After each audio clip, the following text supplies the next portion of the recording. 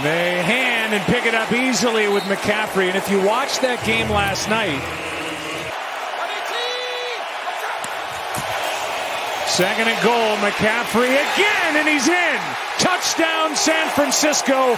Touchdown, McCaffrey. 16th straight game.